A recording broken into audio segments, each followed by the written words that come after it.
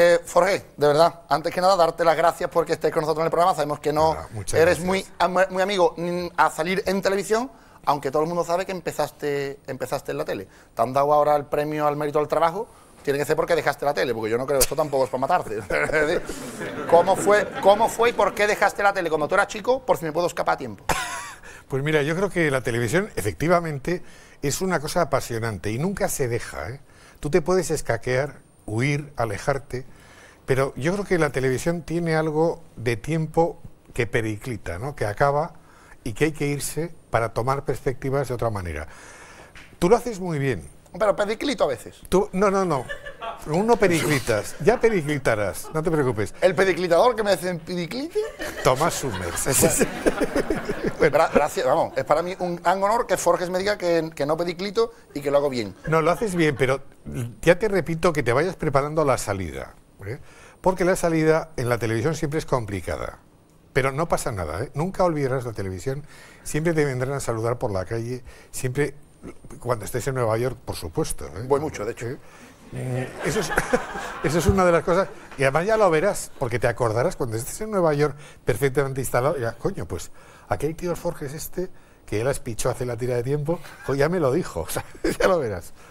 Aparece un matrimonio acostado, que supongo que será en la concha del Mariano, Sí. del que luego hablaremos, como de, de otros personajes de Forges, y llega ella a despertar al marido y le dice, Mariano, las 7, y dice ella, que pasen. Me ha, me ha reconocido Forges, me ha reconocido Forges que el chiste, y ojo, primicia mundial, el chiste de la taza de Forges no es de Forges. No. Pues mm, acláranos esto porque está ahora mismo toda la SGAE loca por cobrar canon de donde sea. Pues eso, eso es lo que dijo mi padre una vez que estaba echándose la siesta y entró mi madre y le dijo, Antonio, las 5. Y dijo, el que pasen. Y yo dije, hombre, aquí hay plan. Ten en cuenta que yo tuve una relación con mi padre un poco complicada al respecto, no de despertarle de las siestas. Hombre, yo si mi padre dijera que hacer las 5, de verdad, yo tendría, yo sería íntimo amigo de mi padre porque algo le sobraría. Claro, pero no, había dicho a las 5, si hubiera dicho a las 12, vale. Claro. Pero claro, mi padre, 5 sí que se. Buah, Con 5 sin problema, claro. Tú sabías que no te quedaba nada para ti. Bueno, pues ya hemos adelantado un poquito de la Conchi y el Mariano. Hay por ahí grandes personajes míticos de, de Forge, como puede ser el Blacillo. Eh, cuéntanos, explícanos que, que Forge nos defina al Blacillo en cuatro palabras. Pues es cualquiera de nosotros y nosotras, ¿eh? pero mm, digamos pensando, cosa que es complicadísima. ¿eh? Es muy complicado porque la cultura actual a lo que lleva es a no pensar para nada. Y eso de estar pensando, yo creo que había que hacer un- una aproximación al gran filósofo Descartes en aquello de pienso, pero en vez de luego existo, tenía que ser pienso, luego estorbo. Y a lo mejor el blasillo es la síntesis del estorbar. Y la Concha y el Mariano me parece a mí que o, o piensan sin querer o piensan, o piensan bien poco. La Concha y el Mariano son ese... ¿Tiene, ¿Tiene alguna relación con esos matrimonios típicos españoles que caen siempre en el, en el estereotipo que estamos viendo ahora en matrimoniadas o no tienen nada que ver, como creo que todo el mundo sabe que no tienen nada que ver? No tiene nada que ver en absoluto, porque ahí hay una cosa. Mira, mi mujer el otro día, le- eh, no sé qué, qué había hecho yo, porque. Y, y- y se puso a regañarme, ¿no? Le digo, ya está bien de regañar. Dice, Antonio, llevamos casi 40 años casados, ¿cómo no te voy a regañar? Estos náufragos que se arrastran, que están un poco perdidos, yo creo que también Forge nos explica un poquito qué simbolismo, que creo que están cargados y bastante de simbolismo, estos dos náufragos que no, nunca van a salir de esa isla. Pues mira, eh, yo creo que es en realidad el ser humano, ¿no? Podemos imaginar que los dos náufragos es la humanidad completa y que luego la Tierra es la isla y que luego, por ejemplo, pues qué te digo, yo digo la, Tierra en general, ¿eh? Y luego el mar es el universo, ¿no? Y en realidad, si nos diéramos cuenta, así estamos todos. Lo que pasa nos creemos que hay mucho menos gente. Te voy a contar una cosa de física recreativa y ¿Física secreta. recreativa? Sí, fíjate. Tú coges a toda la humanidad, estoy intentándolo. Vale. Los pones a cada ser humano en un metro cuadrado. Vale. Vale. O sea, Bien. mucho menos que 30, como intentaban. Nada. Ya sabes que eso es especialista. Un metro cuadrado por... por con los, chi- los chinos juegan. Eso es. Vale. Vale. Todos metidos, ¿eh? Cada uno en un metro cuadrado.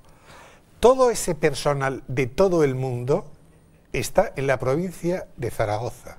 ¿Todo el mundo ha ido allí? ¿Y quién nos está viendo a nosotros, eh? Me tiene mi agobiado. Y yo, entonces con Zaragoza.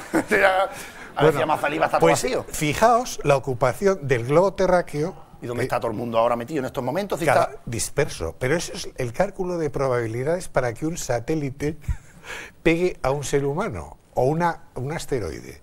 Entonces, ¿qué pasa? Que como caiga en Zaragoza, están dos todos juntos, se lleva por delante a 40. Solución, no hay que ir a Zaragoza todo el mundo. No vayáis a Zaragoza, No si vais a vaya Zaragoza, nadie, deja a alguien ¿vale? en casa para que, lo cuente. Eso es, que quede gente diciendo, pues mira, se fue a Zaragoza y mira que le dije yo no te vayas. Hombre, háblanos, Jorge, de, de- de- de- de estas dos viejas, que cuántos años llevan estas viejas, estas viejas van a durar más que Fidel Castro. Sí, pero yo es que me creía, tú, además lo que has dicho, ¿no? Lo de la leña del arca de Noé, pero yo es que me creía que no había ya estas ancianitas en España. Pues las hay. ¿En Zaragoza? En Zaragoza sí. Zaragoza Es más, te diría, están todas allí. Todas en Zaragoza. Bueno, que no caiga el meteorito, por Dios. Pero claro, ¿qué pasa? Que es la concepción, digamos, de, de una España muy antigua, pero que sin embargo, pues hacen esas cosas de, te, te he enviado un correo, email, y no te ha llegado, dice, no, dice, pues podríamos, podrías haberme dado una voz por el corral.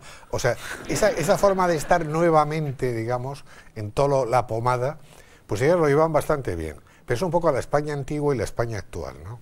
Ahora han llegado las Navidades y han tenido la, la valentía los- la gente del jueves de felicitar las Navidades a todo el mundo con aquella polémica viñeta de del- esta chica que presentaba el telediario y de su marido con la capucha, con una capucha, un pasamontañas para que no se les reconozca. Venga, a lo mejor yo acabo de meter la pata explicando que eran ellos, ¿eh? pero mm, cuéntame si crees que es una valentía o crees que es necesario que el jueves felicitar así las Navidades.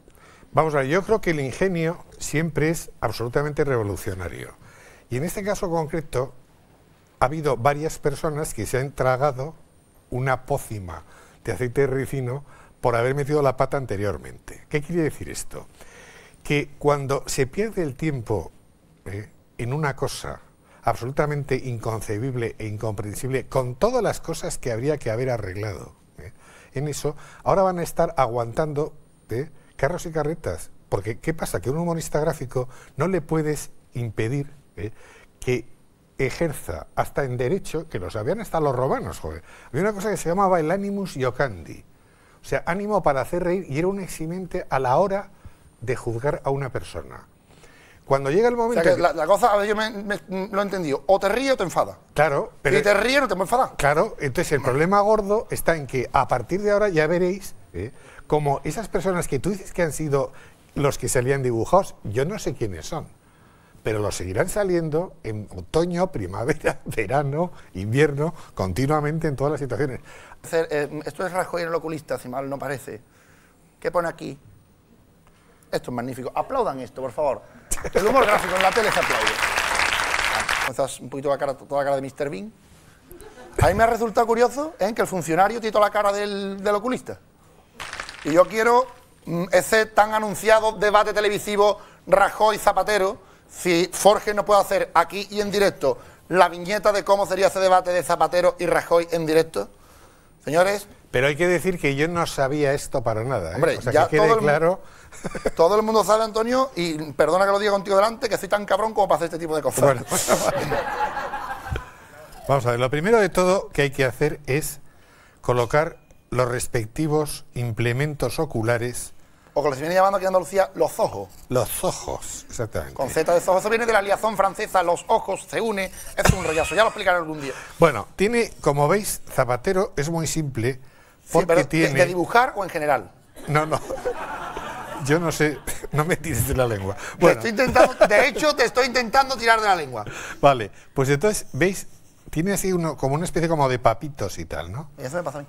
Si le pones por aquí así esto, entonces ya haces el distintivo soluto que se llama, que es, Distintivo absoluto. sí, que es la ceja. Que casualmente yo siempre he observado que es las dos gaviotas del, papi- del PP del revés. Del revés, exactamente. Entonces le pones aquí esto así y esto así y ya tiene los ojillos, ¿vale? O sea, ahí tenemos a Zapatero. Zapatero está un poquito alopécico. Sí, pero es que ahora hay que ponerle el escaso pelo que le queda, ¿sabes? Escaso pero ordenado, ¿eh? Cómo se lo coloca, Sí, parece sí, que tiene un melenón. ¿Ves? Pero Sí, sí, sí, está, es una cosa escasa, es más peluzón, es peluceo, no es un Gaddafi así insucio Sí, abundante. sí, sí, sí. Y luego le- hay que ponerle ya una vez unas pestañillas por aquí y luego por aquí otra Le está pestañilla. poniendo las pestañitas un poco cerolo, ¿no? No, no, no, no. Espérate no, no tiene nada que venga, ver, no ver, ¿no? Y ahora aquí en medio hay que ponerle la boca. Y luego es fundamental que esté una mano así. Magnífico, ¿eh? No, como, como enseñé todo el mundo a dibujar, ¿de qué, de, de qué Antonio? Bueno, este es. Este es Zapatero, está Yo claro que es. Zapatero. Y, luego, el se- ¿Rajoy? El, señor Rajoy es una ah, cosa. señor. qué benévolo. Es que no tengo confianza con él. Le conozco más a Rajoy que a Zapatero, la verdad, ¿eh? Pero. Entonces ya aquí baja. Y entonces ya viene, empieza a hacer una cosa que, que es un desastre. ¿Ves? Este es un ojo. Ah, él mete un poquito un ojo, ¿no? Sí, es que además. Él mete un poquito un ojo de verdad. Te o sea, lo te lo puede llevar a la playa y mientras se baña te vigila la toalla, ¿no? Entonces, ¿veis? Fijaos bien que son dos distintos ojos, ¿eh? Pero mira, ahora hay que tirar la cabeza. Pero ¿a dónde? No, hay que tirar. Vale, vale, no, no. Vale, vale. Esto es una cosa así. Lo mío es Y charlar. se le pone, vale, El bigote que tiene se toda le pone la barba. una barba, un- también un poquito papanoliniana. Muy importante el cachoreja. Sí, sí, es oreja de abuelo, de lobulillo Sí, el sí, grandote sí. colgan- colgandón. Vale. Y luego, aquí tienes. Yo no sé hacer caricaturas, ¿eh? O sea, me parece que Hombre, es tarde, claro, lo he ahora dicho Forges, tarde. va, ahora Forges diciendo, yo es que no, yo dibujar. No, no, no, no, magnífico, yo no sé dibujar, pero caricaturas tampoco. Espérate, que ponerle así. Forges, ¿de qué no te reirías, de qué no te reirías nunca? De la desgracia ajena, nunca jamás. Te estás riendo del pelo de zapatero hace un rato. Pero eso no es una desgracia, eso es una evidencia. Vale, vale. Sepan, sepan separar desgracia y evidencia, ¿eh? Claro. Tu Entonces- viñeta, te voy, a, te voy a ametrallar ahora. Tu viñeta favorita. Mi- la que teóricamente haré pasado mañana. O sea, está por hacer. Está por hacer porque no te digo la de mañana porque la he hecho. ¿Eh? Y no es mi favorita. Bueno, pero a ver si mañana a pegar un bajón el país. No creo. No, no, vale, no diga tampoco esas cosas. Mañana todo el mundo comprando el mundo, que tampoco puede ser bueno. No, no. Que compren periódicos. Eso es lo más Sí, importante. sí, comprar periódicos, comprar cosas, eh, gastar dinero. Eso, eso. Bueno, yo creo que sí que se parecen, ¿no? Sí, ¿no? Y ahora hay que ver cuál es, cuál es lo que va a Yo pasar. quiero saber qué va a pasar en ese debate. ¿Qué se van a decir según Forges? Mira, se van a decir, por ejemplo, pero esto ya se tarda más, ¿eh? Venga, pues, Dice, ¿te, te quieres quedar aquí mm, mientras? No, no. Quiero, espérate. quiero decirle, señor Rajoy, Ojota. y dice, sí, y dice él como cortando, y dice él, ¿es a mí?